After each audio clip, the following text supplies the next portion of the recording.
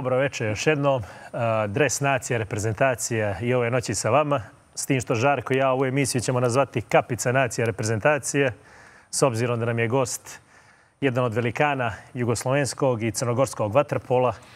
Čovjek koji se popeo sa Crnom Gorom na krovu Evrope ali nemamo ga što posebno predstavljati. Nema potrebe. Ime govori samo za sebe. Emisija bi trajala minimum dvije da sakrenemo od titula s Jugoslavijom. Ako bi krenuli da nabrajamo, potrošili bi pola emisije. Sigurno bude. Pa Ako nije cijelu. Tako, dakle, s nama Nikola Janović. Već je dobrodošao. Kapite. Hvala, bolje vas našao. Nikola, ajmo za ove mlađe gledalce naše koji malo slabije nisu ni mogli da zapamte zbog godina i samim tim i ovaj, nisu to i doživjeli. Početak sami je daleko bio. Ti si stvarno, tvoja karijera je trajala možda i predugo u odnosu na karijere koliko traju. Ti si vrlo, vrlo rano počeo da se baviš vaterpolom. Pa jeste, stvarno jeste bila nekako posebna, specifična. Tada sam krenuo, prvo sam sa sedam godina počeo da treniram plivanje u, u tada plivačko vaterpolo klubu Primorac iz Kotora, kao Kotoranin, kao, s obzirom da u Kotoru ne, ne iste, teško da ćete pronaći. Košarkaše nekoga. teško, ali nekoga, pa čak i, i nekoga ko se možda kasnije počeo baviti košarkom ili futbalom, a da nije nekad barem probao. A to je osnovno, u, u boku je osnovno plivanje, pa vaterpolo, pa onda na brod. Tako da i tim nekim putem sam ovaj, krenuo ja, prvo plivanje sedam godin, sa sedam godina, onda sa deset godina sam praktično odlučio da pređem na vaterpolo i nekako tada nekim ubrzanim koracima, da kažem, ta moja karijera je stvarno krenula čak do te mjere da 94. 5. godine, dakle sa svojih 14 godina sam prvi put odigrao e, za prvi tim tada Primorca i praktično tada je bila još uvijek e, zajednička liga, tada Savezna Republike Jugoslavije, sjećam se to to su bile, sad kad pogledam, ne mogu... Kako to, djelo je 14 godina, tada je bio najveliki Beče, je li tako?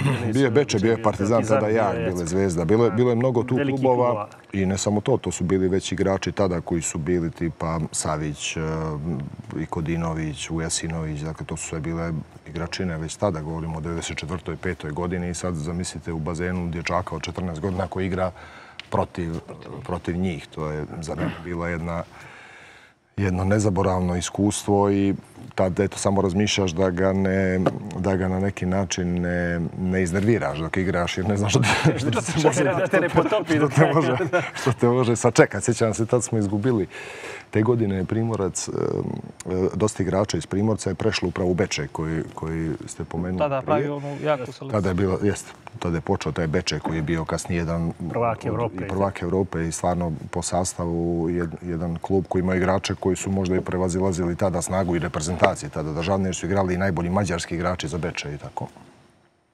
I uh, sjećam se, igrali smo tada Primorac dosta oslabljen sa, sa nas nekolicinom mlađih koji smo tek ušli, dakle dječaka praktično, protiv Partizana. Mislim da smo izgubili nekim rezultatom, možda 15-1 ili tako. Ja sam dao je taj go, jedan, slučajno, to je nešto deset ruku tamo, upalo ugo, nemam pojma, kuljače brani, sjećam se, znači ja sam mislio ta tri dana da sam... Osvije svjetsko broje. Osvije, jeste, tako bi to izgledalo i to stvarno bili neki trenuci koji su, koji su nezaboravni, pogotovo kad negdje ovaj, sad gledam iz ovog ugla i, i sve kasnije što se dešavalo. Tad poslije toga je došla reprezentacija praktično 95. godine omladinska gdje smo prvi put nakon sankcija osvojili Europsko prvenstvo u Esslingen u Njemačkoj. E, tad iz te reprezentacije koja je bila jedna sjajna generacija momaka, praktično Dino Šapić i ja smo kasnije nastavili da ovaj, nekim, da kažem, stopama e, kasnije do svih tih uspjeha koji su se desili. Tako da su svo...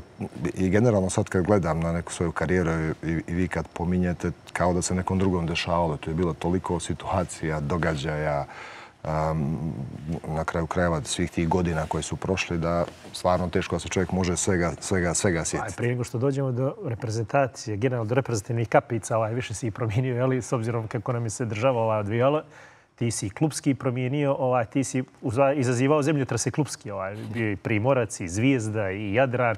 To su bili rivali u tom trenutku. Ti si znači, imao taj osjećaj pritiska, prelaska iz jednog kluba. Nije to adekvatno današnjem upoređivanju Vatrpara. Bio Vatrpara na mnogo većem nivou u našoj zemlji tada. Tako da.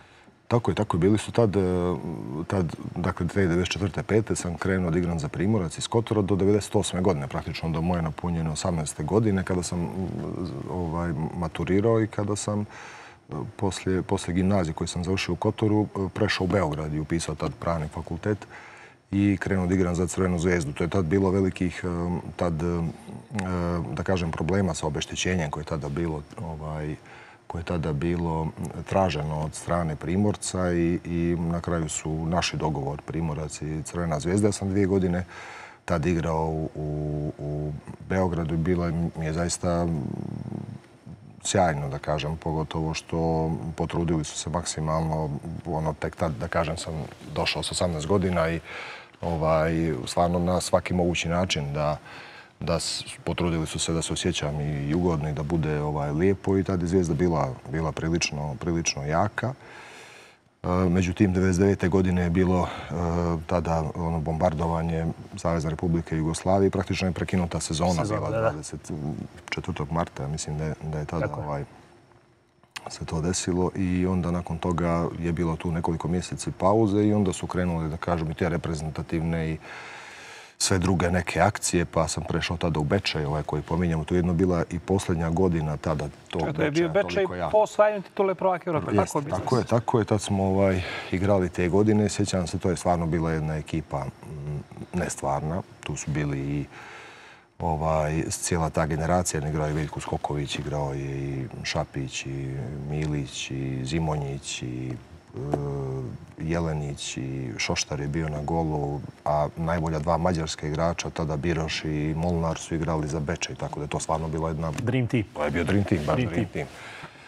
I tako Ćirić, e, ne znam, sve su to bili, bili igrači ove, da kažem, svjetske klase i i kao što ste vi rekli, dosta je klubova. Da kažem, tu sam promijenio kada, kada negdje vratim, vratimo priču što tiče karijere, ali i mnogo trenera koji su stvarno ovaj, negdje... Gradili tvoj put. Gradili moj put. To su sve bili sjajni od, od da kažem, samog početka pa do kraja. To je bio ogroman broj trenera i stvarno imao sam negdje privilegiju da radim sa svim tim ljudima koji su negdje da kažem, bili personifikacija vaterpola tada u nekom najboljem smislu i što se tiče reprezentativnog nivova, kad to kaže, mislim na, mislim na Stamenića, mislim na Bat Orlića, mislim na Pera Porobića, mislim na Nena Manojlovića, Zoltana Kašaša koji mi bio trener u, u, u Bečaju, inače oca čuvenog Tamaša Kašaša, onda i svi ovi, da kažem, treneri koji su bili i negdje radili moju karijeru u početku, i Veska Markovića, i Slobovićevića, i To baš, stvarno, baš mnogo, te sluša čovjek, ovaj, ti si u stvari prošao bukvalno groz sve najbolje što je Waterpolo imao u Evropi kada je trenerska ruka u pitanju. Ja mislim, ne pa postoji jest, bukvalno jest, dva imena da izdvojimo koja nisu. Ovaj. Stvarno jest i moram da kažem da su mnogo, mnogo me svi ti ljudi naučili i uh, u ovom nabrajanju uvijek rizikuješ da zaboraviš nekoga jer, jer nemoguće je da sve nabrojiš i svi su na neki način ugradili dio, da kažem, tog svog iznanja i iskustva u, u moju karijeru i pomogli mi maksimalno da kažem da se na taj način trasiram kao igrač koji sam kasnije da kažem postao.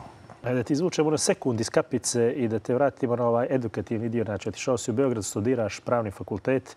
Je li to bio neki, da kažem, tvoja želja, put ili bio uticaj roditelja da uz vaterpolo se završi fakultet ili si ti neđe vidio u tom trenutku da nakon karijere želiš da imaš i neku akademsku sigurnost? Kako je u tom trenutku došlo do odluke tvog studiranja? Jer si je već imao 4-5 e, seniorskih sezona u tom periodu, je li, iza sebe? Jeste. E, pa u suštini volio sam nekako uvijek da se Eh, uz sport eh, da, da učim, da budem stvarno dobar učenik. I bio sam u Kotorskoj gimnaziji koja je stvarno jedna sjajna gimnazija sa, sa izuzetnim profesorima. Eh, bio sam stvarno odličan džak i to mi je, i to mi je negdje onako značilo i želio sam već tada da završim i fakultet jer sam smatrao da bez obzira što se baviš sportom, pa možda i na vrhunskom nivou, da negdje bi kompletirao, da kažem, i zaokružio tu svoju priču, treba da završiš fakultet. Moja e, želja tada da upišem je bila medicina, nije, bila, ovaj, nije bio pravni fakultet, ali igram slučaje zato što je to bio, ipak je e, medicina fakultet gdje ima dosta i prakse, gdje ne možeš samo da budeš na predavanjima, bilo je nemoguće da to sve ovaj se postigne. Pravni fakultet sam upisao, međutim na kraju i počeo sa, sa studijima, ali nisam uh, njega završio. Završio sam pomorski fakultet u Kotoru, ovaj, diplomirao 2008. godine i drago mi je danas što, što jer obično eh, sportisti nekad kroz svoju karijeru zapostave taj dio, da kažem, obrazovanja, ali eh, mislim da je jako važno to i uvijek pokušavam i danas kada pričamo i o mladim sportistima da kad god mogu iskoristim priliku da im kažem da je ipak važno završiti školu. Zašto? Iz mnogo razloga, a jedan od tih je što praktično vi vrhunskim sportom, pogotovo vaterpolo, možete se baviti do 35. 6. godine na tom nekom nivou i da kasnije ostanete negdje hendikepirani ako ne, ako ne završite, da kažem, fakultet i na taj način zaokružiti tu neku svoju ovaj, taj neki svoj, svoj dio. Tako da, eto, bilo je stvarno, ovaj, mene tad, e, nažalost, kad sam prešao bio u Beogradu, no, tek sam bio završio srednju školu, tu su se otvorili sad novi vidici, potpuno neka sportska karijera i e, nisam se, da kažem, toliko tada ovaj, posvetio školovanju, jesam kasnije ali sjećam se da je tu stvarno bilo ovaj scena, to, tad je meni bilo potpuno, ja sam se razmišljao tada o treninzima, da se ode opet Beograd. Što je logično za sve. Izazove velikog grada. Izazove grada, logičan put. Sve, sve logičan put. Sjećam se da mi je tada ovaj, trener kada sam dolazio na trening, ja sam ono tada prešao i bila je cijela ova priča i oko, oko, da kažem, tog nekog obeštećenja i sve. I kaže mi trener, kaže Nikola, kao ovaj, tražite dekan kao pravnog fakulteta, ovaj, hoće da se upozna s tobom, da porazgovara. Da on, ja, važi, važi, javit ću se, ali ja tad nisam uopšte bio, bio ovaj, da kažem, u tom toliko, smislu jasne. toliko, toliko ovaj, zainteresovan. Meni to sad značilo ovaj, da iz, iz ove naravno perspektive to sad izgleda ovaj, E, neozbiljno, ali u tom trenutku kad ste ono momak od 18 godina... Onda sasi, ono sasi normalna reakcija. Jeste, jeste. Taj, taj, taj čovjek koji je bio tada na tom fakultetu, on je bio u upravnom odboru tada Crvene zvijezde, sportskog društva i tako dalje. Ovaj, tako da je to stvarno su bili neki, neki trenuci koji su mi dosta pomogli, jer ipak i to neko, ajde da kažem, osamostaljivanje ili, ili to neko e, taj neki dio gdje je ipak e, kreneš da živiš i sam i kreneš negdje da na taj način gradiš svoju karijeru, mnogo pomogne kasnije. Jer poslije su došli svi ovi klubovi i Beče i vratio sam se onda u, u, u Primorac iz Kotora, pa sam onda igrao za Jadran iz Herceg Novog, pa sam onda prešao u Posilipo Napoljski 2006. godine, e, kasnije opet u Jadrana i 2011. godine prešao u Dubrovački jug. Tako da, zaista... Jedna bogata, bogata jedna, klubska jedna karijera. Ovo mi interesuje sticajem okolnosti, ili ja sam bio, bio su u Beogradu kad si ti gore ovaj, to potpisao za zvijezdu i nešto smo kao komentarisali. Znaš, dolazi momak ono gore, to je iz male sredine u, milionski grad. I ono, jedan si od rijetkih igrača koje ja znam da ga Beograd nije pojeo, po znacima navodu. Uh, kako, je, kako si se nosio s izazovima pa, koje nosi Pa jeste, ja sam u suštini, sjećam se tada su e, u Crvenoj zvezdi ovaj, mi rekli da svaki, i tako smo u suštini bili napravili dogovor i u tom ugovoru je bilo da e, kad god hoću e, mogu da, se, da imam avionsku kartu za Kotor ja sam u suštini, kad god sam imao neko slobodno vrijeme, vraćam se kući. tako, da, ovaj, tako da to je meni bilo tad nekako ipak malo nostalgija. I, znači, to je rešenje ovaj, toga problema kod, kod, kod, kod, kod igrača. Prepostavljam utica jak porodice, je tako? Koji, pa jeste ovaj, svega, mislim, onako, i prijatelja i svog nekog, da kažem, tada, tada ipak si mlad i tek si krenuo, da kažem, da bez obzira što je karijera išla tom nekom uzlaznom putanjom, ali ipak eh, negdje, negdje nosite ta nostalgija tada u tim godinama. Naravno, da, možda iz ove perspektive drugačije razmišljamo, ali tada je to tako bilo eh, i bio sam posvećen stvarno trenizima. Bio sam posvećen tako tom nekom životu i onda prosto iz tog razloga, iz tog razloga ostanete negdje u, u toj disciplini i ovo što vi kažete, znači negdje normalno Beograd kao takav grad koji praktično nudi sve nešto što, što, što postoji, da kažem, za svakog mladog čovjeka.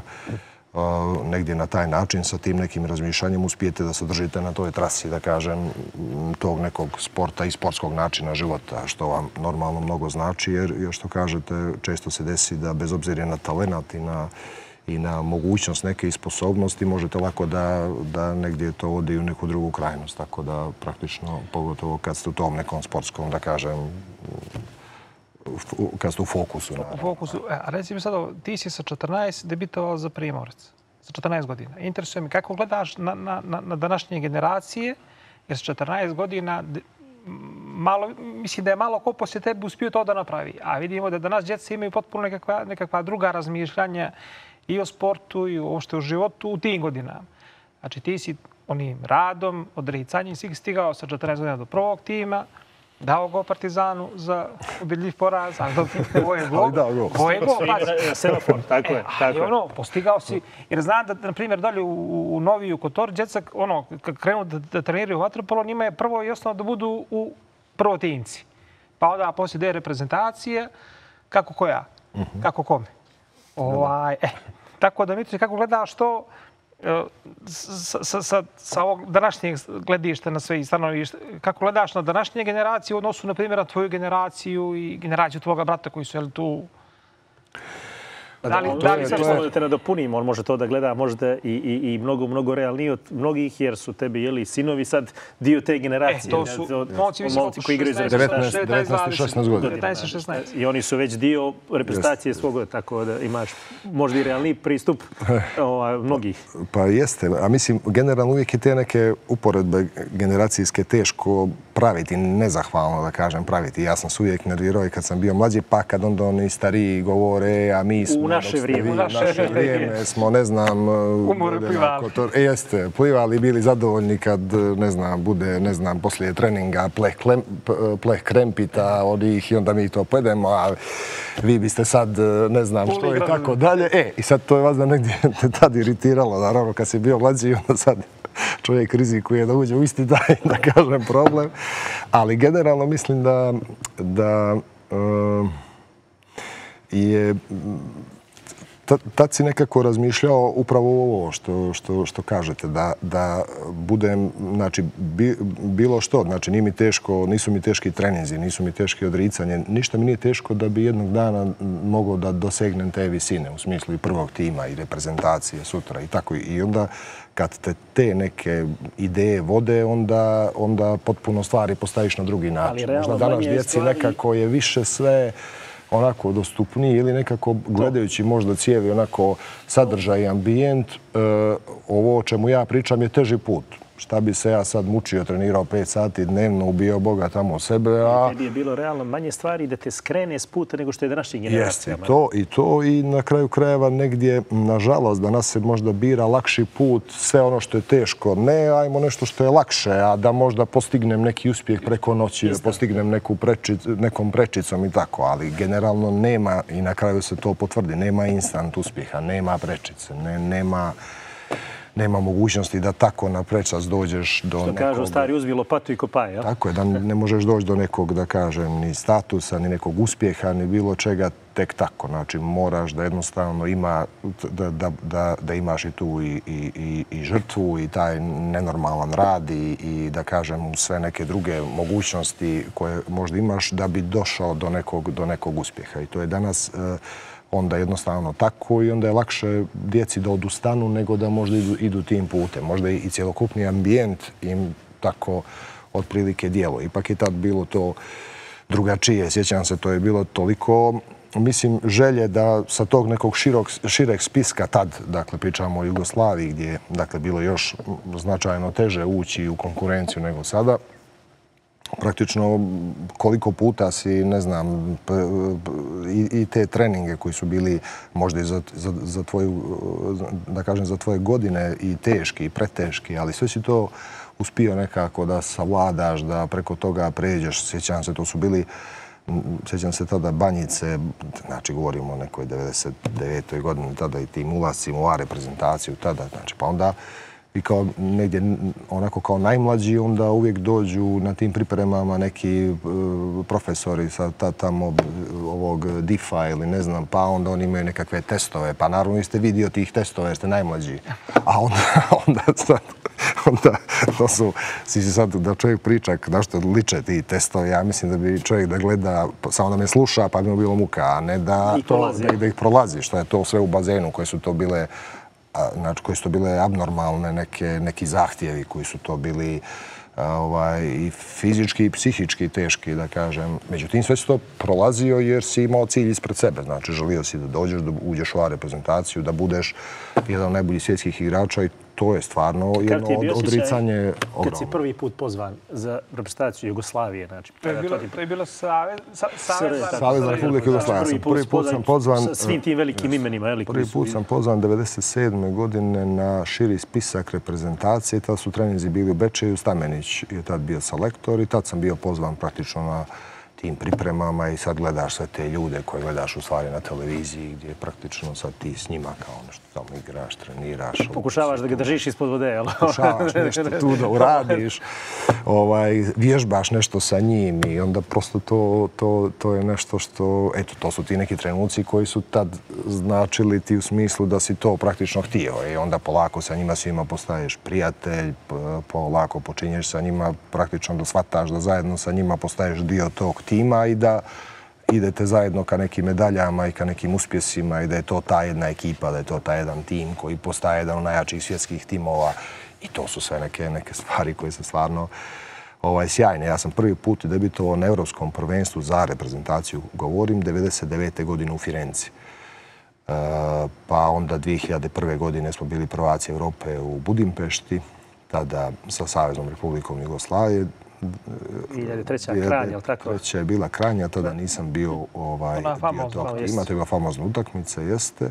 2005. svjetsko prvenstvo u Montrealu, tu smo osvojili zlato. I praktično 2006. osvojili smo svjetski, svjetski kup. To je bilo taj FINA kup koji je bilo jedno takmičenje koje je išlo u svjetska evropska prvenstva koje je bilo možda i najelitnije.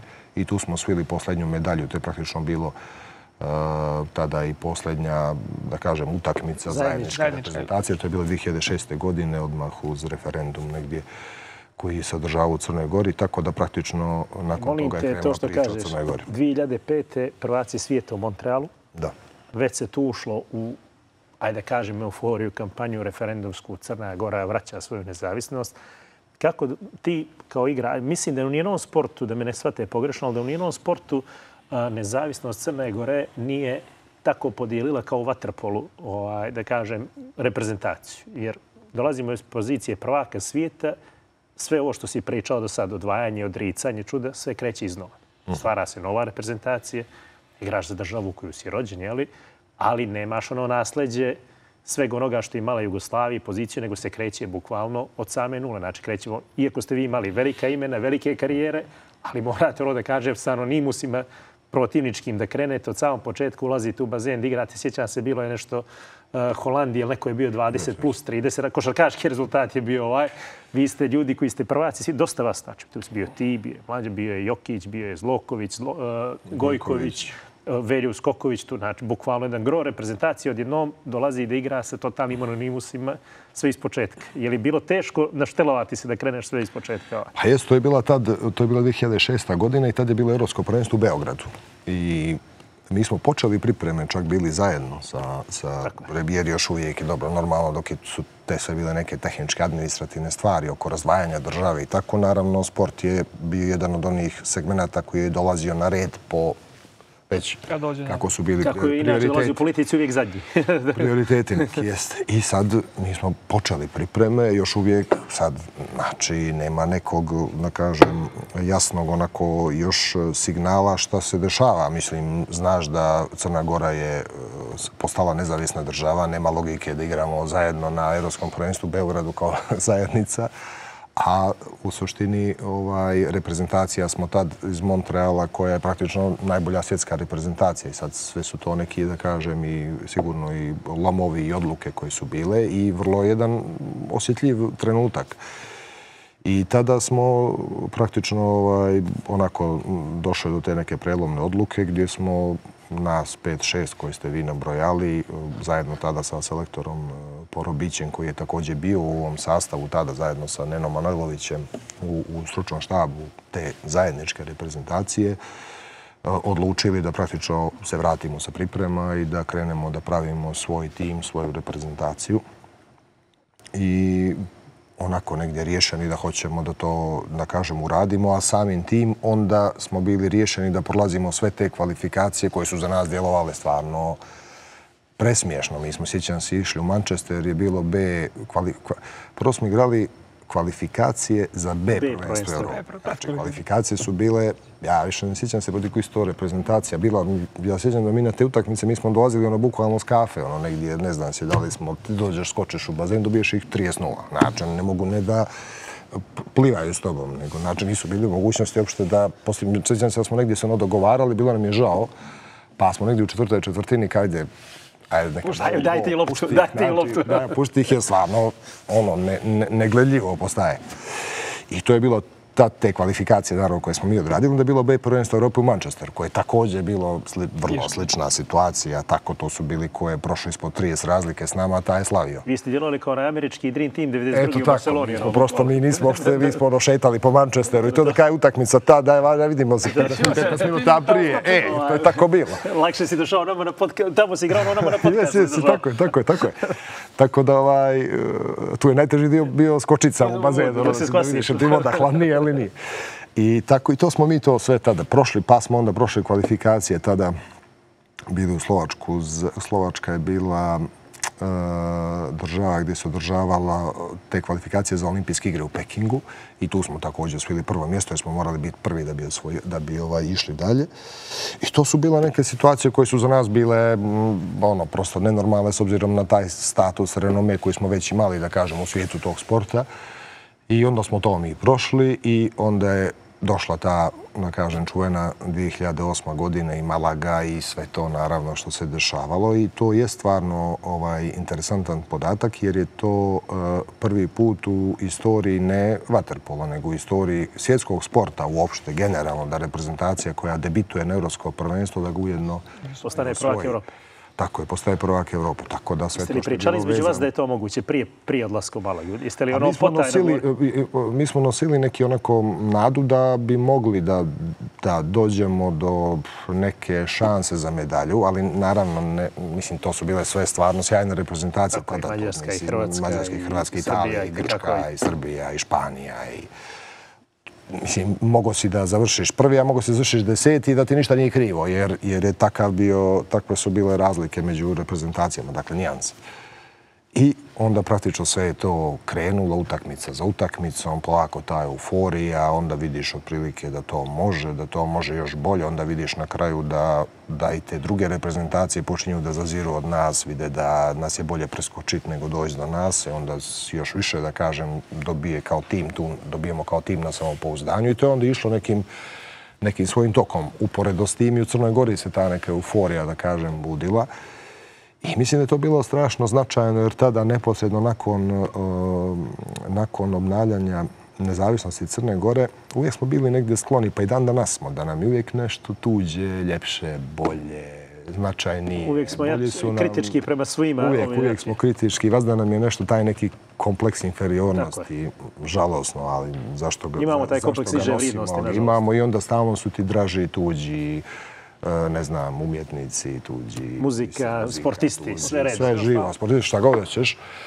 Ovaj, jer i, i, i to vidiš i u navijanju i u svemu tako. I, I to je negdje, mislim da je bilo blagotvorno tada jer su ljudi shvatili, čekaj, znači, mi izgleda možemo. Znači, A Crnogorci se lako vežu možemo uspjeh, da budemo, da da, vidiš da možemo da pobjedimo nekoga. Vidiš da imamo jednu ekipu koja može da bude jača i od države koja ima 10 miliona i 20 miliona i 30 miliona i 40 miliona ljudi. Znači, Zašto? Zato što to ne možeš u ekonomiji, ali u, u sportu gdje su te stvari mjerljive na taj način, gdje znači samo je bitna sposobnost i talenat i rad i trud i ako si tu bolji, bolji si, nema prevare kao u bilo kojem Jasno. drugom segmentu ovaj, u kojem možeš da, da, da se takmičiš. I tu praktično mislim da je to jako važno jer se što kažeš, ti ljudi najlakše identifikuju sa sportskim uspjesima i onda to negdje je postajalo, čini mi se, za generacije koje su došle i za sportiste neke naše i za svu tu neku priču da ipak, evo, možemo. Znači, možemo, u nečemu možemo. Znači, da se nosimo i da budemo dobri i da, i da pobjeđujemo i da se na kraju krajeva vežemo da se vežemo za uspjehe tih momaka, a mi smo se s druge strane trudili stvarno, znajući za, da kažemo, u, u, da kod nas, evo i dan danas, a i tada naravno, postoje te neke, da kažem, i podijele i sve te neke ovaj, e, stvari koje su specifične za, za nas. Nažalost, iako nas ima samo 600.000, ali smo ovaj, e, nažalost u tim nekim stvarima ovaj, po meni bez, bez potrebe se prednjači, ali je tako. I onda negdje smo mi stvarno trudili se tada i sa tim uspjehom našim i sa tim zlatom. Uvijek smo govorili da je to, da je to uh, uspjeh svih nas, da je to uspjeh svih građana Crne Gore, da je to uspjeh eh, upravo na taj način želeći da pošaljamo poruku da, da ljudi doživljavaju, znači bez obzira da li se ti intimno osjećaš uh, i nacionalno ovako ili onako, da je to tvoja reprezentacija, da je to tvoja država, da je to uh, su ljudi koji su ovdje e, rođeni, koji ovdje žive kao i ti, da znači eto, prosto borimo se protiv neke druge države na tom nekom sportskom polju i da pokušavamo da budemo bolji od njih. I pokušavaš da to nekako... nekako mogu ovaj, da posvjedočim, ovaj, pošto sam ja bio s vama tamo u Malagi te 2008. E, ovaj, u svu euforiju koja je vladala na tribinama bila je ogromna, uz onaj, ono ludilo kad je, kad je odsviran kraj, kad su svi krenuli dolje put bazene, nije bio pristup društvenim mrežama, recimo kao što je sad. Postali su neke društvene mreže, ali to nije bilo da ti je sve dostupno istog trena u, istom, u, ovaj, u istoj sekundi, da kaže. I nije bilo u potpunosti svijest, barem nas tamo u Malagi, kakva je euforija vlada u Crnoj Gori sve do onoga trenutka dok nismo slećeli na Tivatski aerodrom. Pričalo se da je narod izašao na ulice. Ne, to je bilo, ali, pošto se ja bio tada ovaj, Ti si bio, ali mi nismo imali tu, tu sliku suku. Mi smo posle se naši uveče u nekom plažnom baru slavili titulu prvaka Evrope u Malagi, sve živo. Ali nemaš kao sad što si imao Instagram pa ti skoče slike, ne znam, ovaj TikTok i sve te stvari, nego si imao, ne znam, statuse na Facebook. To je bilo ono glavni da. prozor u svijet. I sad neko napiše prvaci smo Evrope i sad ajde dobre euforije. Onda su ljudi počeli da zovu njih porodice, ovamo je ludilo u Crnogore, svi su na ulice. I oni ja kao... mislim da ni oni kao igrač nisu bili ne. svjesni što se dešava ovamo. Mislim da je prvi kontakt bio Tivatski aerodrom, otvaranje. Evo, ja sam imao priliku da s njima budem u tom avionu nazad da ono, oni iznose onaj pehar i ja sam prvi koji sam iz te navijačke priče bio što je ovo čoveče, bože, koliko je ljudi. I onda taj autobus ide do Kotora, pa Cetinje, pa Podgorica, to je tek nastao. To je bilo, to je bilo stvarno, e, to su bile stvarno nestvarne scene i ti tek tad u stvari doživiš koliko koliko je taj naš uspjeh značio ljudima. Upravo mislim zbog ovoga što sam pričao malo čas, da se ljudi negdje identifikuju sa tim uspjehom i da ne moraju samo da se razmišljaju, ajde da navijamo, hoćeš i ti za Srbiju, a ti za Hrvatsku, a ti za Mađarsku, a ti za... Nego imamo znači, svoj tim za koji možemo da navijamo i koji može da pobjedi njih.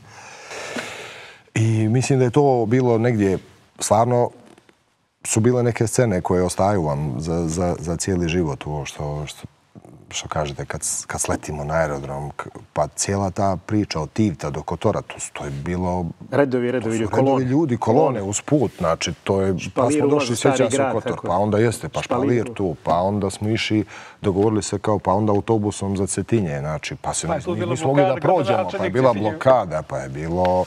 Znači, pa mi smo pod pratnjom ulazili u, u, u gradove. Pa je onda bilo, pa je bila Podgorica uveče, čini mi se. Uveče jeste pun trg. Su, onda znam da je bilo tada mi više mrtvi umorni od, sve, od, od svega, prvo od, od cijelog prvenstva, pa onda od neprospavane, naravno, noći nakon uspjeha. Pa nakon svega toga, te taj adrenalin drži još uvijek. Ja mislim, vidiš koliko je ljudima drago i hoćeš i prolaziš i vidiš i I onda znam da je negdje bila ideja neka i stvarno više mi nismo, mislim, nije više, nije pojeta više, znam da je neko, neko, neko, ajde, možete li da idete, ne znam, na sjever Crne Gore, da još pođemo gore negdje.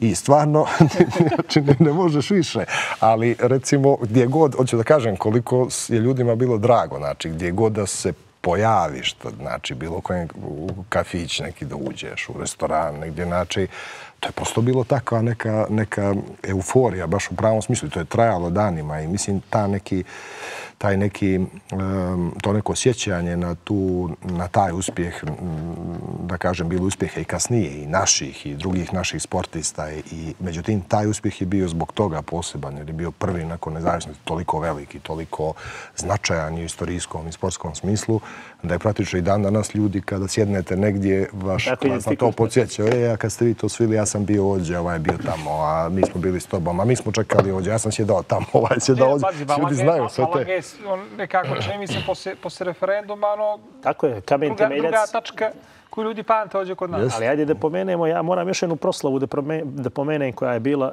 januarska proslava po nevjerojatnoj podgoričkoj zimi, a to je vaš povratak iz Eindhovena. To je srebrna medalja, ako se dobro sjećam. I ta proslava je bila na stadionu malih sportova koji je bio fuliran. Mhm.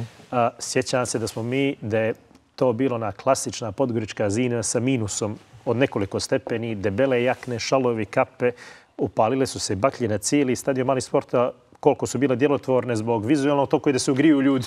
Jer je bila, i, I to je bila jedna proslava koja je, koja je onako kazala da vaterpolo reprezentacija još ima što da da. Jer to je bilo srebro koje nam je, u stvari, bili smo čak tako i blizu je. zlata tu.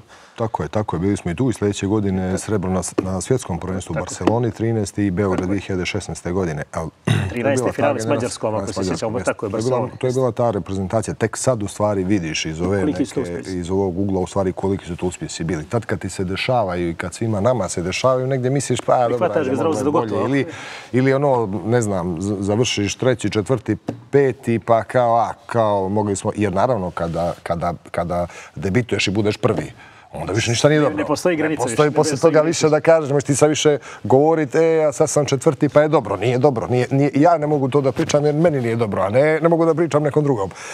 I onda praktično tek sad vidiš u stvari koliko je teško, koliko je teško bilo da se dođe do tih uspjeha i koliko je to stvarno su bili neki izvanredni uspjehi koji treba da se pamte.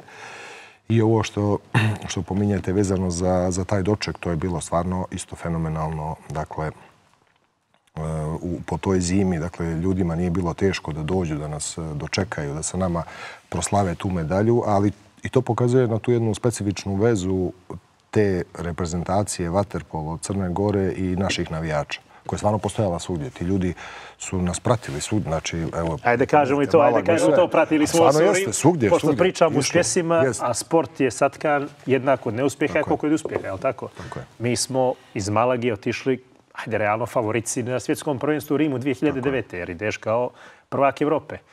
I mi smo krenuli autobusima, računajući da je trebalo bude projektovano četvrt finale sa Španijom, polufinale Mađarska i finale Srbije. Mi smo već, mi smo već neđe projektovali medalju.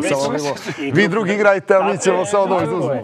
Grupna faza se prošla, mi smo se potrpali autobuse, krenuli smo ka, ka Rimu i u tom trenutku našeg puta vi ste igrali sa Njemačkom u spinu finala, gdje niko nije dovodio u pitanje plasma, jer prvak Evropa igra s Njemačkom da bi nama stigli informacije neđe go Trsta da smo izgubili od Njemačke. I sad autobusi stoje sa strane, kako misliš izgubili, čekaj, su li igrali, prvo idealno pitanje je tada su li igrali svi. Da nije to neka vada. Je to to prvo? Su svi igrali, pa kako su, pa od koga smo izgubili od Njemačke. I sad mi smo došli u Rim jer smo već jeli sve organizovali. Mi smo bili jedina navijačka grupa koja ih je pratila od 9. do 12. mjesta, bila je Kina i Australija. Yes, yes. I tada nam je stvarno bilo teško jer smo već vidjeli finale u glavi, sve nam je bilo ovaj naslonjeno na to, ali sad iz ove perspektive, kad se sjetim, to mi je jedno od ljepših gostovanja i jedno od ljepših događaja da... Jer si šta reći, nećeš što da reći. Ali, pazi, borimo se za deveto od 12. mjesto protiv Kine, mi smo tu, navijamo, oni igraju, Ovaj, ostaje, ostaje lijepa anegdota. Ovaj. Oni su na, na kraju pobacali sve i kapice i bade mantije. Ja ne znam ništa ostalo do prebe od njih tada, ono kao neki znak, ajde, zahvalnosti što smo došli. Ne, ali to govori to, znači da ipak ta reprezentacija je negdje svih tih godina bila praćena i koliko su ljudi stvarno nas voljeli i, i išli sa nama i bez obzira na, na, na taj neuspjeh koji se desi odmah, koji je bio šokantan nama i vama i svima, ali praktično i opet niko nije gubio, da kažem, vjeru i mi smo već nakon dvije godine ovaj, poslije toga uspjeli da osvojimo i ovu medalju koju smo pominjali što se tiče Eindhovena i Holandije i praktično su to bile stvarno neke, ovaj, neke tako, neka ta povezanost koja je od samog početka, dakle, sticanja nezavisnosti i te malage trajala pa do, rekao bih, te neke generacije koja je polako poslije počela da se... Kad pominješ tu generaciju, te pitaš jednu stvar. Ti si sve uspjehe, a i neuspjehe, je li prošao sa svojim rođenim bratom? Da. A, je li najveća nervoza u bazenu kad se gubi prema bratu, jer ono najlekše ti njega ovaj deo. Je li to nešto? Izgubi loptu, je nešto. Je li gledali se bratova greška duplim očim odnosu na bilo koju drugu grešku?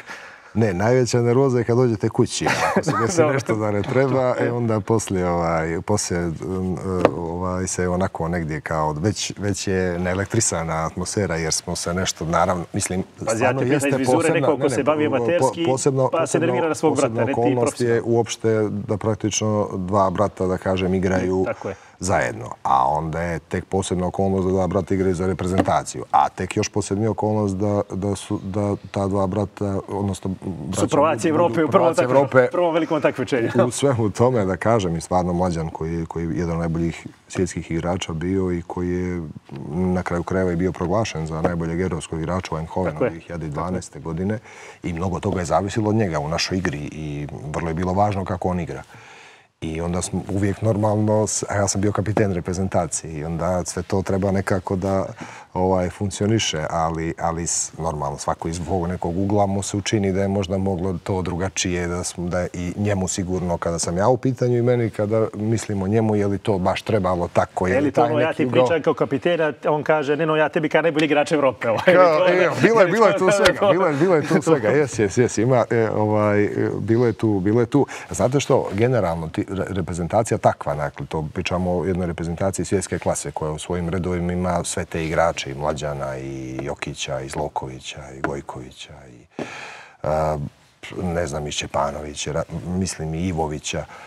Praktično to je, to je, mislim, stvarno jeste negdje veliki izazov, da kažem, svu tu reprezentaciju, negdje. Mi se, mi praktično ništa ne znači individualni kvalitet ako se to sve ne ukomponuje jedan zajednički i vrlo je specifična ta psihologija, da kažem, to kolektivnog sporta, jer kada u pojedinačnom sportu ti si sam sa sobom, praktično, ne znam, tenisu ili negdje igraš, ok, padove uspone, ali sam sa sobom to pokušavaš da negdje ovaj, da negdje e, postigneš. A ovdje, dakle, nikad ne znaš, nije raspoloženje svakom isto, treba 13 igrača da dišu kao jedan, to funkcioniše sve besprekorno, a samim tim što svako od tih igrača je najbolji u svojim klubovima i sad ovdje on treba da bude jedan šraf koji će da doprinese, da kažem, cijeloj toj, da kažem, jednoj, jednoj mašini reprezentativnoj koja treba da ide napred. I onda uvijek dešava se, dešava se dosta toga i kao kapiten da kaže imate tu neku najveću na, na, da kažem, odgovornosti. Normalno da onda, da onda svako iz svog ugla, ugla gleda, ali bilo je zanimljivih situacija tu recimo kad se vratimo nekad poslije nekih utakmica koje nismo zadovoljni kako smo prošli. I onda znamo to kao braća često da se, da se svađali smo se bili, to su bile svađe ozbiljne. No. Sjećam se, roditelji su ono, molili nas zbog komšija da se ne deremo, da se ne svađamo. Nemoj sad da ko ne prijavi, to je šljaško. Ali nije to nego, nemoj, nemoj, ko će, što će reći ljudi, da se tu, ono, sad... Dobro, to samo pokazuje koliko je bilo stalo do uspjeha u pa sportskom naravno, to je... naravno, naravno, to je stvarno bilo, jeste, bilo je tu situacija, ovaj, mislim, normalno to se prolazite, pa, pa na kraju krajeva i oni svi, dok smo mi tamo e, tim utakmicama igra se polufinale ili četvrfinale ili finale, ja normalno nismo, kako smo igramo, a nismo prisutni kući, kad nam prepričavaju to je, ja mislim da neko u tim trenucima kući kod nas da dođe slučajno na vrata da nešto traži, ne znam kako bi završio, znači jer to je, to su, to su ovaj, to su ti trenuci kad su svi ono, to su sportski familije, kako žive. Jes, jes, jes, žive. Onda i onda djeca koja su rasla, da kažem, u tom isto jednom ambijentu i, i kasnije, ovaj, ono što smo rekli na početku, gdje na, negdje kao e, neka, neki logičan slijed budu... i, i oni, da, da kažem, da se bave vatrom, su se to proživljavali, gledali, slušali to je sve stvarno ovaj, neka, neka situacija koja teško je, teško je, teško se može opisati, a da nekom, recimo, nije, nije Ko to... Ko nije iz toga svijeta bude jasno. Recimo, pošto je, došli smo do kraja, do kraja ovoga, ova, ove, ovog podcasta, reci mi kako, kako gledaš na, na budućnost Crnogorskog vaterpola? Ipak si neko ko evo sad skoro si skoro si zaplivao ovaj sa sa momcima. A i evo nadamo se tvoj tvoje, tvoji će sinovi jeli, biti dio te budućnosti pa ćemo imati dalje možda opet braću Janović jeli, da nose do neke nove generacije. Ha, uh, ajde, negdje već smo sad uh, konstatovali koliko je teško bilo sve te uspjehe postići. Dakle, to je stvarno ta reprezentacija se desila uh, iz te jedne zajedničke tada škole jugoslovenske ovaj, koja je praktično nas pet, šest igrača koji su bili igrači svjetske klase koji su bili kostur te reprezentacije ovaj, naše crnogorske. Definitivno sada se dešava taj jedan dak, vakum, ajde da kažem, u tom, u, tom, u, u tom nekom kvalitetu, možda je da tako kažem. I mislim da meni se čini da ove generacije mlađih vaterpolista 2000 i šesto godišta prije svega, ali i četvrtog, petog godišta ima sjajnih nekih momaka koji bi možda mogli da negdje budu, da kažem, nasljednici te naše generacije. Naravno, uvijek su to osjetljive godine i tu je jako bitan e, usmjerenje pravo i svih trenera koji sa njima rade, jer znam koliko je to meni značilo, jer nije samo važno da si talentovan, čućete hiljadu puta, a pogotovo ja u Kotoru znam jer, jer sam Kotoranin, e, e vidiš njega, e, on je mogao da bude strašan, mogao da bude super, bio odličan, ali volio je, ne znam, nije volio da trenira ili nije volio da... Znači, to su, to su te neke stvari koje ovaj, koje negdje moraju da budu u kompletu za, za sve te momke da bi, da bi mogli da oni sutra, da kažem, dostignu te neke, te neke visine. Evo vidjet ćemo, uvijek normalno postoji nada. Waterpolo je sport koji smo negdje svim tim uspjesima trasirali negdje put i ne daješ negdje prostora da možeš da razmišljaš e, super što smo deseti. Znači, ti u tom sportu ne, ne možeš da kažeš uh, dobro je što Medalje ili ništa. to znači, ne možeš da kažeš jer si bio prvi. Tako je. U drugim sportovima možeš pa kad budeš došao jednog dana do toga, onda možemo da pričamo drugačije, ali generalno ne možeš. I, i mislim da je važno i prenositi tu neku poruku, jer svi ti onda ne, negdje kad želiš više, onda, onda ćeš e, do toga možda i doći, ali ako si zadovoljan sa desetim, dvanestim ili trinestim, nećeš nikad biti prvi. Mislim, to je tako. Ištem, ti si, ti si jedan od onih sagovornika za koje nam fali otprilike još jedno dva, dva i po sata, da, da, da barem ispričamo dio onoga što, što bismo htjeli da ispričamo, ali bit će još sezona dres nacija, reprezentacija, pa se nadam da ćemo nastaviti ovo u nekom ovom svjetlu. Hvala ti puno na vremenu koje si nam posvetio i uh, to je to za večeras. Evo, vidimo se opet 7 dana. 7 dana. To je to. Hvala puno. Hvala vam. Hvala vam.